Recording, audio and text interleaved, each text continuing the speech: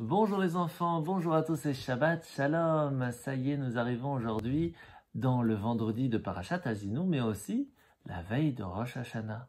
Et oui, ce soir, nous allons manger la pomme dans le miel, la tête de poisson, un peu de grenade. Et quel rapport avec la Parashat Azinu d'aujourd'hui? Rappelez-vous ce que l'on a parlé hier. Le fait que des fois, oui, on peut tomber par terre, on peut se faire mal, on peut penser que quelque chose ne va pas, et pourtant grâce à ça nous allons trouver un trésor. Eh bien la pomme dans le miel, c'est le même message. La pomme, c'est sucré déjà en soi, donc c'est quand tout va bien dans notre vie. Mais le miel vient de l'abeille, l'abeille elle pique, et pourtant elle nous amène du miel. On demande que dans cette année, même s'il y a des abeilles de temps en temps qui nous font mal, ne pas oublier que tout cela doit nous ramener du miel, tout cela, c'était pour notre bien, pour nous aider à grandir et à avoir encore plus de bonheur plus tard. Alors je vais vous raconter une histoire qui s'est passée pendant la Seconde Guerre mondiale, alors que le peuple juif était dans un niveau de destruction quand même très difficile et que beaucoup de juifs mouraient. Une grande partie a réussi à se sauver dans un bateau.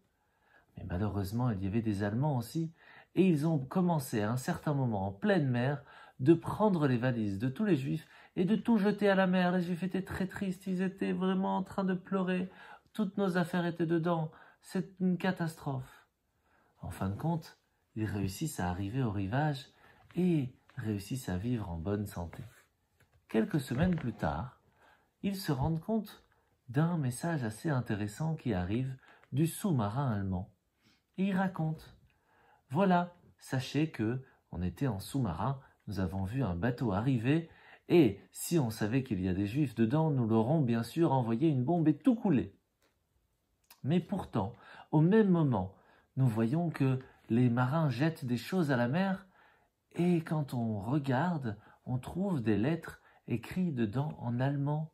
On se rend compte que les gens qui sont dans ce bateau sont donc des amis, et c'est pour cela que nous n'avons pas tiré de bombe et que le bateau a pu arriver à bon port et que tous les gens ont pu rester vivants et en bonne santé. C'est là que les Juifs se rendent compte. Mais si nous n'avions pas jeté les valises, si les Allemands n'auraient pas jeté les valises, mais nous ne serions plus là aujourd'hui. C'est là qu'en fin de compte, nous nous rendons compte que les petits problèmes, même des fois des grands problèmes qui peuvent nous arriver, sont en fin de compte beaucoup de bien qu'Hachem est en train de faire pour nous aider. Shabbat Shalom qu'on puisse tous et toutes avoir une très très très bonne et douce année, en bonne santé, avec nos parents, notre famille, nos amis, et que tout le monde entier puisse profiter de cette nouvelle année de la meilleure façon. Shabbat Shalom et Shana Tova.